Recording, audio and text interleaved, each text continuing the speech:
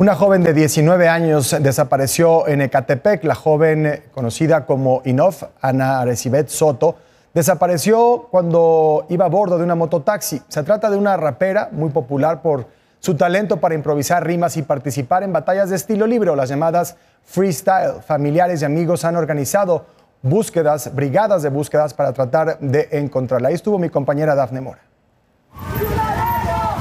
El día sábado salió de mi casa como a las 9 de la mañana.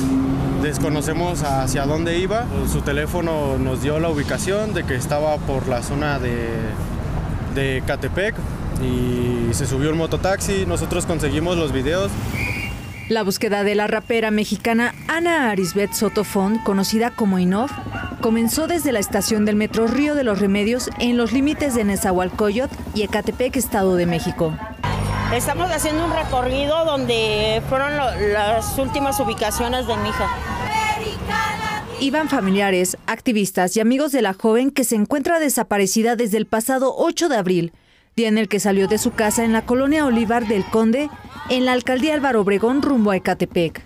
Esperamos que se difunda más para que le llegue a oídos y ojos de mi hija. Avanzaron en sentido contrario de los automovilistas pegaron y repartieron hojas de búsqueda. Las autoridades no nos han facilitado las cámaras del C5 ya que en esa zona se ubica Nesa, Ciudad de México y Ecatepec y las únicas cámaras que nos han dado han sido las de la Ciudad de México. Desconocemos qué haría por aquí mi hermana. Estamos sacados de onda, no sabemos de ella, no se comunica con nosotros.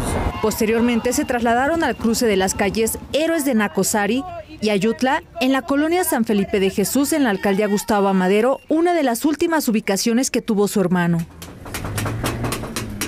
Pensamos que a lo mejor lo vino a buscar, lo vino a buscar un amigo, una amiga, no sabemos bien. Y su última ubicación de su teléfono celular marcó aquí exactamente el martes a las 10 de la noche en este, en este lugar. Su teléfono eh, vía Google tiene la opción de marcar, compartir ubicación en tiempo real. Estamos investigando de forma autónoma. La Fiscalía Capitalina en una tarjeta informativa dijo que lleva a cabo los protocolos necesarios para ubicar a la joven.